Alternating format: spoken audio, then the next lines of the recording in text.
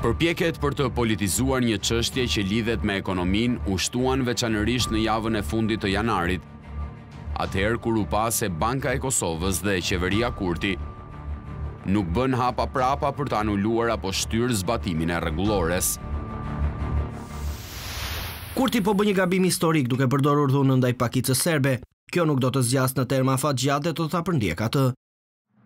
Por për çdo deklaratë si kjo, edhe Kosova nuk ka mbetur prapa, madje duke nxjerrë në pah edhe qëllimet që fshihen pas një vendimi, ku minoriteti serb në komunat veriore do të vazhdojë aktivitetin pa u cënuar ekonomikisht. Dinari serb nuk ka qenë as i lejuar më herët në mënyrë që rregullorja ta ndalojë atë. Megjithatë, ka një sërë brengash që ndërlidhen me ndikimin që zbatimi i rregullores mund të ketë tek ata qytetarë që kanë pranuar transfere nga Republika e Serbisë përmes strukturave ilegale që kanë operuar dhe vazhdojnë të operojnë kundërligjshëm në treg, si dhe ndikimin që mund të ketë kjo rregullore për ato biznese që për vite me radhë kanë kryer transaksione në dinar e të cilat nuk kanë mundur të regjistrohen në sistemin e llogarive kombëtare, Çdo aktivitet i cili ndërmerret nga qeveri qoftë të qeveritë më parshme apo qeveria e sotit, politizohet në masë të madhe nga ana e e komunitetit serb